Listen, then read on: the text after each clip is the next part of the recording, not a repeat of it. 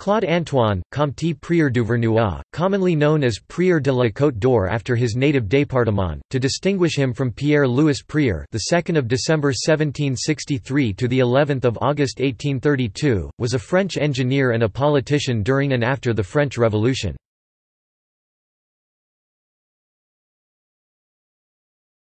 Topic: Life.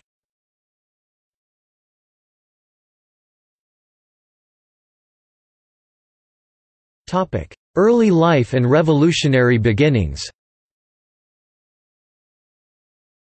Born in Auxonne, Côte d'Or. As an officer of engineers, he presented to the National Constituent Assembly in 1790 a memoir on the standardization of weights and measures. In 1791, the Côte d'Or re-elected him to the Legislative Assembly, and in 1792 to the National Convention. In 1792, Prieur Duvernois was sent on a mission to the Army of the Rhine to announce the deposition of King Louis XVI, after having voted in favour of his execution. In 1793 he served as a representative on mission to survey the ports of Lorient and Dunkirk. He was arrested in Normandy after the fall of the Girondists June 1793 by the rebel authorities of Caen.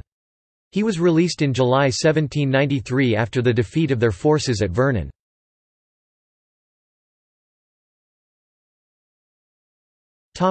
Committee of Public Safety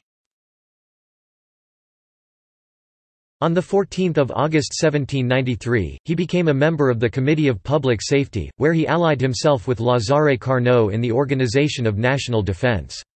His role included providing munitions for the troops engaged in the French Revolutionary Wars. Prieur worked closely with prominent scientists in France.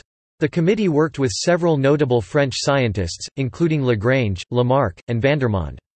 Prieur and Carnot advocated the use of observation balloons in war after some experiments in Meudon.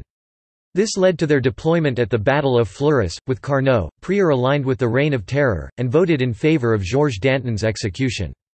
As the committee collapsed, Prieur aligned with Carnot and Lindet, the two other specialists in the committee. Prieur retained his seat after the Thermidorian reaction.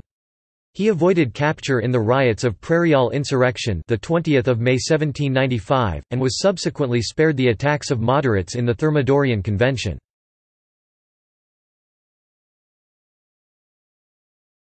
Topic: Directory and Empire.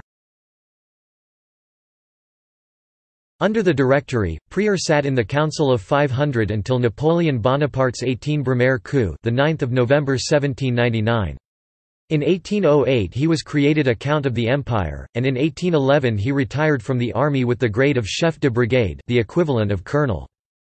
Prieur Duvernois was one of the founders of the École Polytechnique. In this role, he helped to establish the Institut de France, to adopt the metric system, and to found the Bureau des Longitudes. Prieur died in Dijon.